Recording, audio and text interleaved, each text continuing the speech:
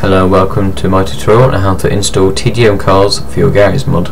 Now, you need to open up your uh, internet browser and type in tortoisesvn.net. Now, you'll see this page if you type the URL incorrectly and now you go to downloads and you're either going to have a 32-bit option or a 64-bit option depending on your operating system download the correct one. So for me I've got 64-bit Windows so I'll be downloading this link.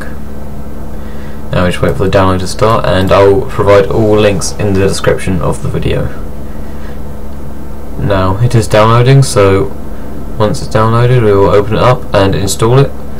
And I won't be doing this because I already have it installed so yeah. Just install it and I'll see you then. Now Oh, you'll need to create a new folder.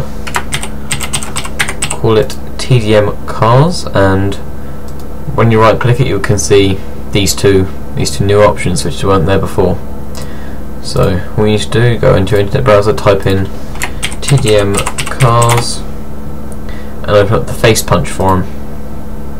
I'll post this link in the description also so you'll see an SVN link in this, in this thread so copy it go to desktop, right click, right click the folder this is, and click SVN checkout, and it should already be in this repository.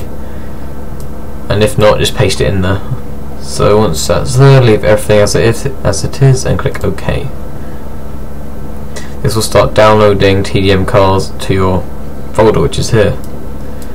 And I will pause the video and see when it's complete.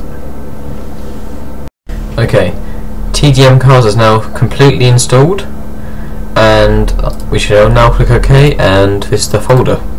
This has every single file which you would need to run TDM cars on your Garry's mod.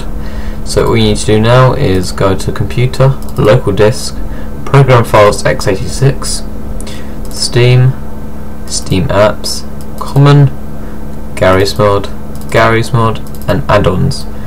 Drag and drop it into your add-ons file and you have now successfully installed TDM cars for your Garry's mod. This means you can run TDM cars on single player and on servers with it enabled. Thank you for watching, enjoy.